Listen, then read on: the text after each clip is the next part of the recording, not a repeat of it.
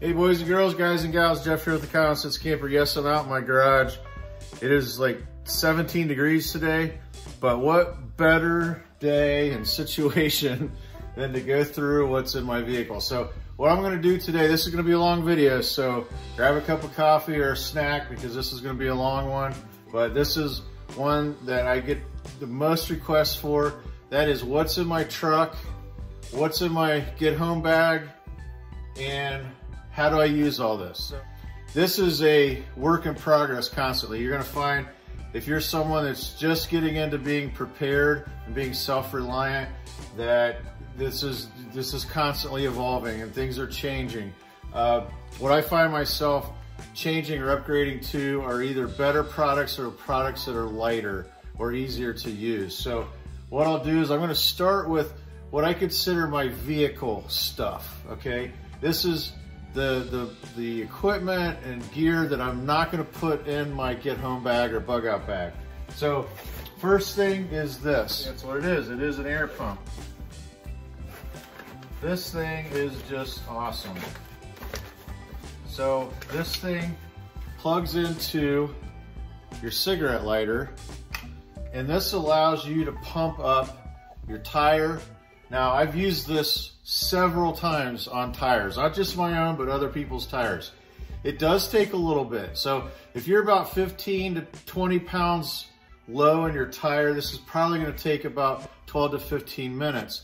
But it's a great piece of gear to have in your vehicle and you can blow up those swimming pools, the, the floating things when you go to the beach for the kids, footballs, basketballs, this thing comes in really handy.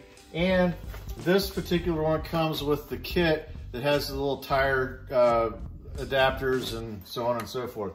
So this thing's awesome. And there's plenty of different versions out there. I just found this one works well for me and I use that thing all the time. The next thing is a pair of jumper cables.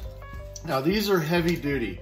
If you don't know anything about jumper cables, there's a couple different kinds. There's what I would consider light duty uh, jumper cables those are gonna be good for, you know, like a motorcycle, a four cylinder vehicle. I prefer the larger heavy gauge ones because those are gonna get into your, your V8 engines and the, the larger engines out there. Uh, and uh, these are longer.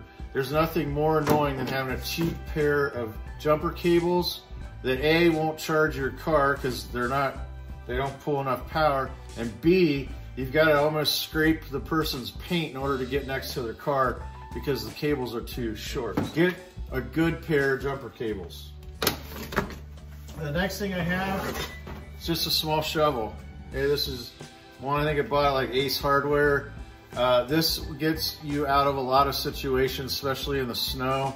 And it's a great little tool to have. And it comes in handy for other things, you know, like camping, uh, cleaning the coals out of, a, of a, a, campfire pit, you know, if you're there for a couple days. There's just a lot of different uses for this, but I keep a small shovel in there. The next thing is I have a thing of wrenches and I also have a socket set. I'll go ahead and open that so you can see what I'm talking about. And again, these were not expensive tools. Okay, these were, I wanna say this, this, both of these together were like $79 for, for the pair. So keep that in your vehicle. And then always have a chair. And this is not a expensive one. Uh, th these are like 19 bucks on Amazon. Then in this, which is kind of like a plastic ammo carrier, I have inside of here, I have in this top thing just a pencil, carpenter's pencil, and then inside of this, I have just a cloth towel, cotton towel. I have a pair of workers gloves or work gloves, tire plug kit. Uh, if you've never, obviously you can see I've used that a, uh, a few times. If you never use one of these, uh, look it up. You can get them, you can find videos on YouTube how to do this. It is actually not as hard as what you think. And, and being in the construction industry, I have plugged, uh, at least every tire I've ever owned at least twice. So these are a great thing uh, to keep in your uh, toolbox. I have a little bit warmer pair of gloves here. I have a toboggan. I have a pair of fingerless wool gloves. This is uh, just a cheapo ice scraper. And I also, I'll show you up front, I have a larger one that I prefer, but a small little ice scraper. A, an entire roll of bank line, that's number 636 bank line. A roll of Gorilla Tape. A small funnel. This is one that people forget. And I'm telling you, if you're in a situation where you need gas and someone might have a gas can or they pick you up and are able to take you to a gas station, you buy the can of gas and you, it might not be the easiest thing to, maybe it doesn't have a nozzle. uh, you, you definitely want a funnel. It comes in really handy for a lot of things. Road flares. Yeah, there's those triangle ones that are battery operated. Just, I, I just, just get the, the real ones. You can also use these if you're in a situation where you're out in the cold and you need a fire right away. And let's say your bug out bag isn't quite complete. You don't have a fire kit or you just don't have the skill or knowledge to start a fire. This is a surefire way to start a fire. Uh, so there's three road flares in there. I have some of these uh, scrunchy cords, that's just for tying things up with. Uh, I have some bungee cords, those always come in handy some lock de-icer, which I always thought this was funny. People keep it in their vehicles, as do I. Uh, but if you're locked out of your truck, this doesn't do much good if it's in the truck. Uh, zip ties, and I carry small ones, and then a larger pack of heavy duty uh, zip ties. And again, those come in handy a lot of times. Uh, last but not least, is, hopefully you can see this right here. My vehicle has a regular like 110 outlet and then also has a cigarette lighter type outlet. Uh, unfortunately, the one I have, you have to have, it's a three prong outlet. So what I did is I just bought a, a two prong adapter and then I have a, just a USB charger there and then that's just an Anker battery. Now, you're probably asking, why do I, why do I keep this like this? That's because when I start up my car, it will send a charge to that outlet. There's a button I push. You gotta watch because if you have a cigarette lighter, one, and you plug that in, sometimes that will run even if your vehicle's not running and it'll drain your battery. So make sure you, you check that. And I have an iPhone cord to that, so if I do have to bug out, I can just grab this whole thing and now I have a way to charge my, my phone. I have an alternative method of starting my vehicle, and that is one of these. And I call this an inverter battery. I'm not sure if that's what you call it, but this thing you do not have to charge up. You can if you want, but in colder weather, they don't stay charged anyways. So this thing here connects to your battery and it takes what battery juice is left in that battery, uh, even if it's completely drained down, there's always some juice, and it'll actually pull that charge out of this and then redistribute the charge to the battery and start the vehicle. Awesome, and yes, I have used this and it, it boggles your mind. I, I have no idea why or how this works. I'm not an engineer, but whoever invented this is uh, a genius. And, and it, yes, it does work and it will fire off my truck if the battery's dead. So that's it for the back. And then obviously I have my bug out bag there and I will get into that contents on the inside where it's a little warmer. All right, hopefully this is bright enough so you can see it. So this is actually my back seat, um, but these are typically hung from the, the, the back side of the front seats but this just worked out better for me. This was actually a gift I bought for my dad, but it did not work with his Toyota Tacoma, Tacoma with the way he had the seat set up. So uh, I was going to return it. I thought, oh, that's not a bad thing, and it wasn't real expensive. Just it was a uh, Amazon buy. Uh, had this one came with uh, some really good reviews. So uh, I want to say it was like 30 40 dollars. But uh, it came with all of the black bags. You see, the only one it didn't come with is this one here and so I have a bottle of water. I have in here, I just usually keep trash. I have a flashlight. I have tape measure that's for work. I have one of those Mora knives that float in the water, and yes, that does float in the water. And then I have a, a heavier duty uh, lock blade uh, pocket knife. This is a first aid kit. I've done review of that. Go check that out. This is a legit one. It's really well put together. And so that's kind of my boo-boo kit. And then this is my trauma kit. So in there where is where I keep, you know, like my clot uh, packets, Israeli bandage, tourniquet, nasal tube, et cetera, et cetera. So that is that is a trauma kit. Uh, I don't need this one because I have one in my bug out bag, but if I had to leave my vehicle, I would grab this and that just, I can unsnap that and it just Velcros right off.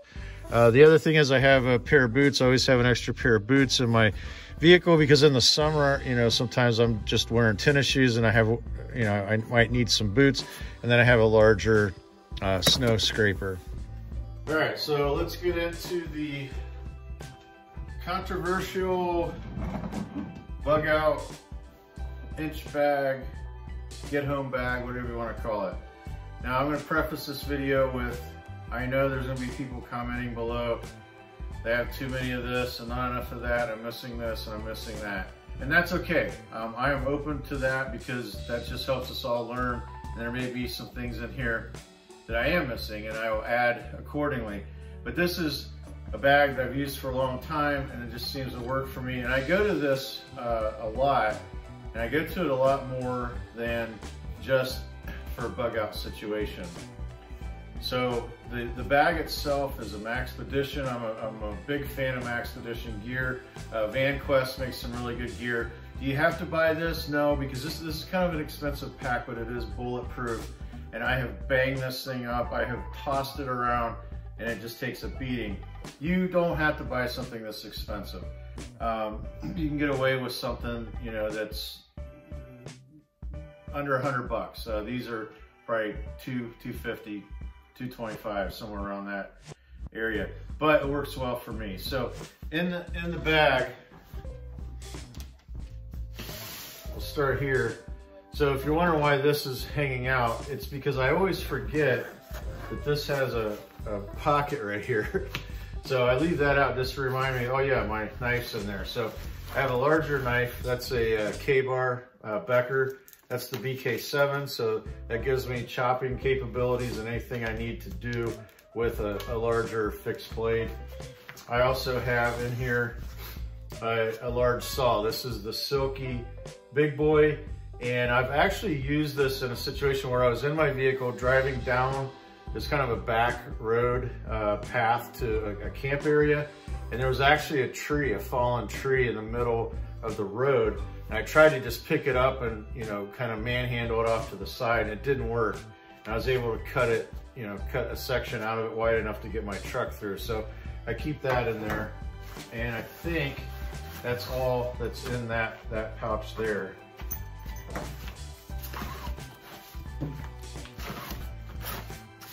Again, I just leave that out so I don't forget that it's in there. Uh, there's a little pocket here on the front and it's very small. I mean, I'm talking really small, about half, half my hand. And I just keep a lighter in there.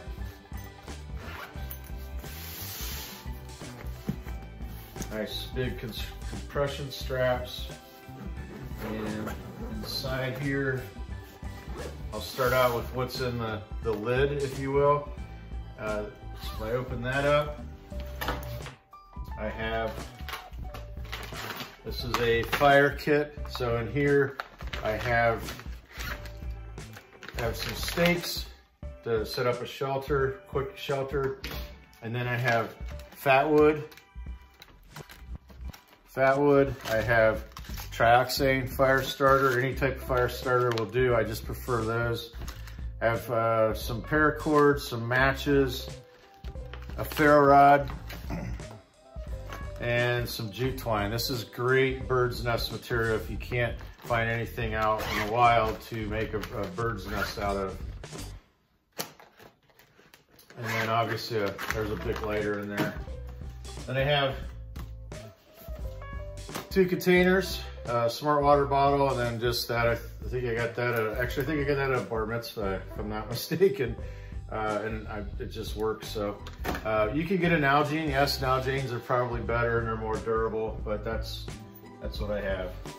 And then a way to purify water, I have a Sawyer. It's the regular Sawyer uh, filter. I have the flush bag and the different uh, adapters, like to adapt it to a water bladder if you have to. Uh, I also have some uh, water tablets in there. I'm a firm believer in having three ways to filter water. So I can filter it with this water filter. I can boil it because I have a way to boil it. And then I also have tablets in case I have to disinfect the water that way. Keep in mind with, with any of these uh, filters, water filters, if it has a cartridge in it, if they freeze, they are rendered useless. So you don't want to have this as your only means of filtering water. You need at least two backups. I have some number 36 bank line, and then I have about 25 foot of paracord. And in this little pouch here, I simply have some 4 mil poly and a blue tarp. This is one of those grabber blankets. It's five by seven. It has a uh, foil back to it and the 4 mil poly. So if I'm in really, really cold weather, I could make a super shelter. If you don't know what a super shelter is, look it up. Uh, it's actually called the Mors, M-O-R-S, Kochanski. Do not ask me how to spell his last name, but it's called the Mors Kochanski Super Shelter. You can have a small fire with that poly and that tarp, and you can get, if it's like 10 degrees outside, you can get the inside of that tent 60, 70 degrees easily. Uh, it's not a real stable shelter. It's not gonna hold up and you know, blistering winds. But if you need a down and dirty way to warm up quickly, that is definitely the way to do it if you have access to firewood. Uh, compactor trash bag, this has a lot of uses. You can use it as a, a ground cloth. You can collect wood with it. You can collect water with it. So I always keep that in there. Uh, another thing with the tarp, I forgot, is since it is uh, foil on the inside, if you're in your truck and you need to warm up, you can use that as another layer to help uh, keep your core body temperature regulated. Now going inside here, I have uh, a wool blanket. Now this is more of a moving blanket. I got this at Harbor Freight. I think these things are like 20 bucks. I have used this before. It does work. I mean, it's not as good as like a Pendleton or something of that nature, but it will do the trick. And again, you can use it to lay something down on. You can use it as kind of like a beach blanket, a makeshift be uh, beach blanket, which I have done before, and it just has a lot of different uses. I have a Shemagh. Uh, this has a couple purposes. One, you can lay this down on the ground to spread out all your gear so you don't lose it in the, the dirt and the mud and the grass or weeds. Uh, you can also, I'm a firm believer, if you can keep your neck warm, you can keep your body uh, a lot e regulated a lot easier so you can use this to wrap around your neck. You can use it as a, a, a head buff. You can wet it down with water, and put it around your neck if it's hot out to keep, keep you cooled down. I have a pair of uh, waterproof gloves and then a pair of warmer gloves in here. And a pair of work gloves. I have a small fixed blade knife that's just a belt knife that is a Druid uh, 265 uh, it comes just like that, minus the orange paracord. And it's stainless steel. I recommend for a bug out bag or get home bag that you use stainless steel whenever possible, uh, especially if you're not gonna maintain it and check into it, you know, every four or five months to make sure that it's not rusting or, or putting uh, patina on it. I also have some of those cheapo ponchos and I think these are like 50 cents or something. So I keep keep those in there. Uh, keep in mind, I do. We are a family of four, so I have some stuff in here that's redundant so that my family can use some of the things in here as well. Uh, for food, I have two of these. These things last forever. Uh, these are uh, emergency ration bars. Uh, they're 2,400 calories each. Yes, they taste and uh, they taste about as good as they look and sound right now. So I did open one of these just to see what they taste like. It's not terrible, it's not like mulch, but it's definitely not a Snickers bar. Now, do you have to buy these? No, you don't have to. I like them just because I can throw them in there and they, they'll last forever. You could get away with a, a, a couple large sleeves of Snickers bars if you wanted to do that instead. I have a dry pouch and so with this, the uh, with with this, what am I thinking here? With this, the dry bag I have around my Jetboil, the containers here, I have about six liters of water I can carry.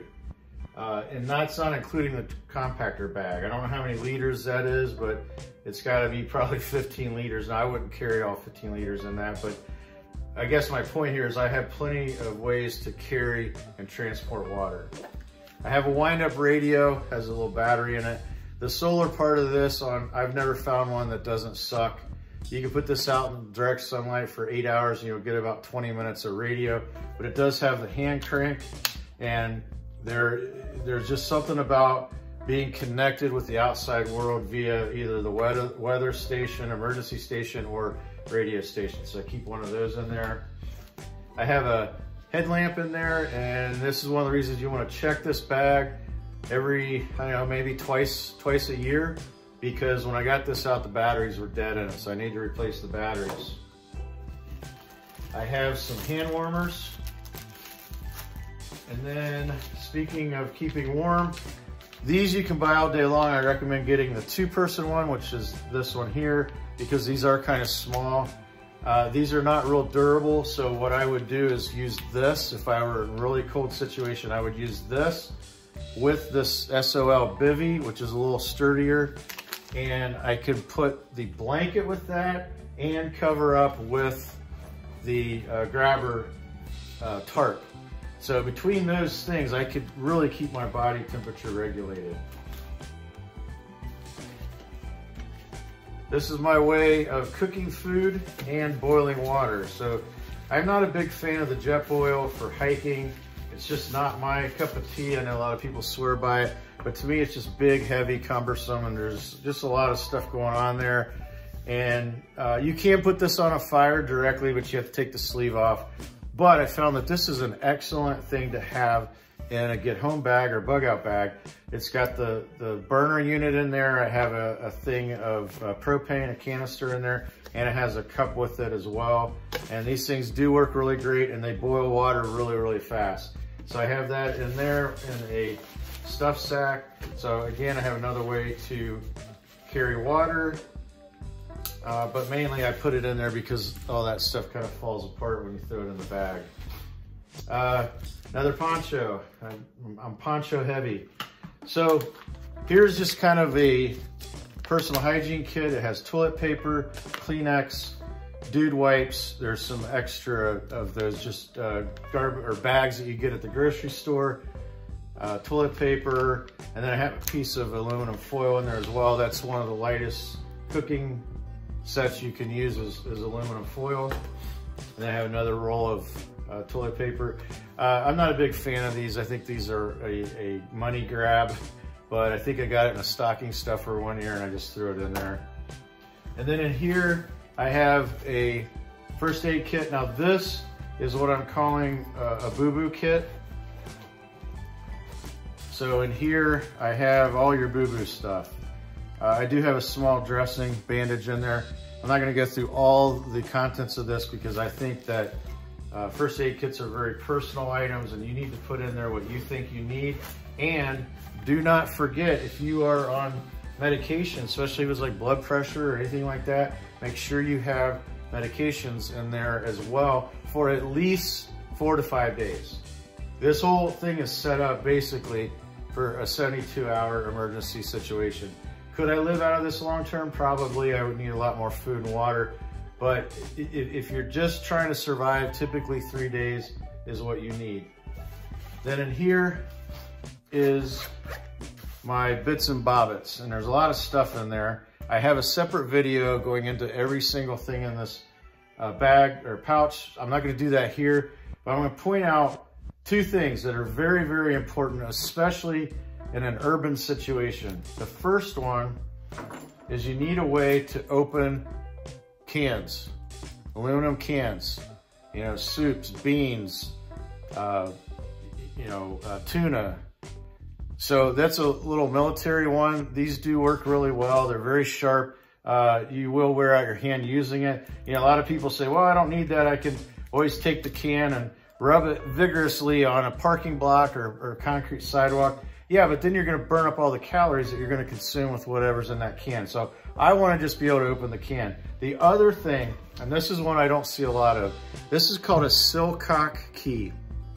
What this is, is this allows you to turn on water on any hose bib on a commercial building. If you go to a commercial building, you're gonna notice hose bibs outside, you know, like you hook your hose onto, but they don't have knobs like they do on your house. And they do that for a reason because they don't want anyone in just jumping on there and turning their water on. So this allows you to get into that part that is recessed. You can't get it with pliers or needle nose either. You have to have a key like this. And this can also turn on and turn off gas uh, shutoffs as well. Uh, this is something, this and the can opener, I'm telling you, are golden, especially if you're in an urban situation. And I think that should about do it for everything that is in this kit. And uh, we'll go ahead and wrap this up. Now to wrap this up, there are, I believe, four things I wanna, I wanna talk about. Number one is one that I'm not going to show on my channel.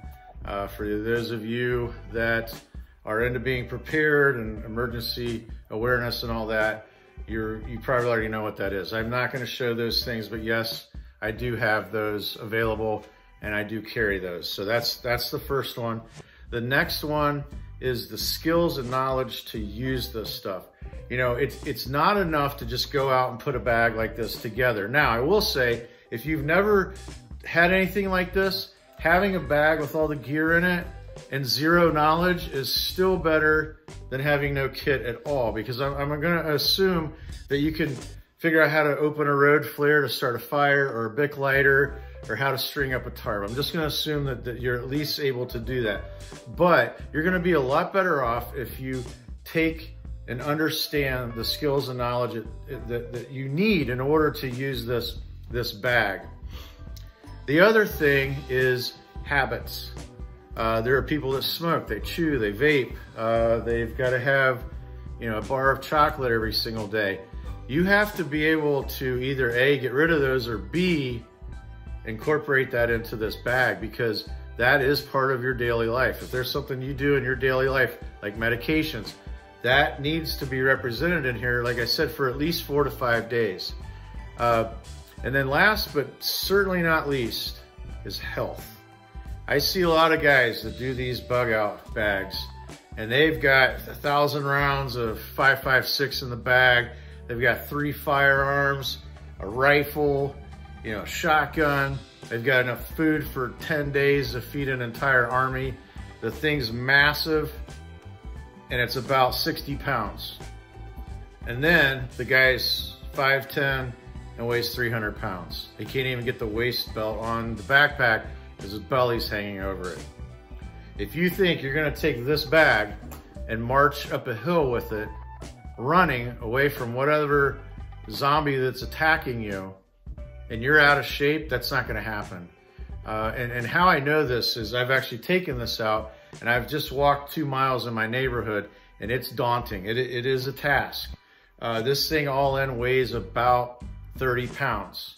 Now it's kind of heavy because I do have, it's tool heavy and I also have, you know, those two big food bars in there. But keep in mind, if I want to stop and get water before I take off, that's going to even add to it. And then I'm in, into the 40 pound range. So when I go hiking, my base weight of my backpack is about 13 and a half pounds for a winter loadout. Uh, that's really light. And then with food and water, end up about 20 to 22 pounds. That is a chore to just hike eight to 10 miles. So you have to be in shape in order to pull this off. And keep in mind, you're gonna be under extreme duress. You're gonna be stressed out with the fact that, hey, I gotta take care of my wife or I gotta take care of my wife and my kids. Now, one thing that you can do is educate your family on what this is. Throw in a couple of those cheap, you know, the little stringy backpacks they give away at school functions. Throw a couple of those in there. That way you can give them some of the weight as well. So that, that's, that's gonna help out. You have to be in shape. This is a, this is a mindset. This is a, this isn't just put together a bag and throw some wrenches in your truck. This is a mindset of being prepared for worst case scenario. Now, will I ever have to use this? Probably not. Will you ever have to use it? I certainly hope not. But it's there if you need it. And again, there's a lot of things in there that I, I use on a daily basis. You know, for instance, like the air compressor. Dude, you're, you're like the soccer dad hero. When the soccer ball's dead and there's no more left and you're like, hey, I've got an air pump. Boom, there you go. So those are some of the most important ingredients which are not in the bag. The first one, which I won't talk about. The second one, get training, gain knowledge, uh, acknowledge your habits. And if you have those, try and get rid of them or at least, you know, throw your carton of cigarettes in there if you're gonna need them. Uh, and also make sure that you're in shape, you know, being healthy. That is, that is a key component to this because I hate to say it, all, all the beer belly dudes with all the ammo and the 80 pound pack, you're gonna be blowing by them and they'll probably be passed out so you can just grab all their stuff and run with it. Anyways, so hopefully this is helpful. This is Jeff with the Common Sense Camper, camping out.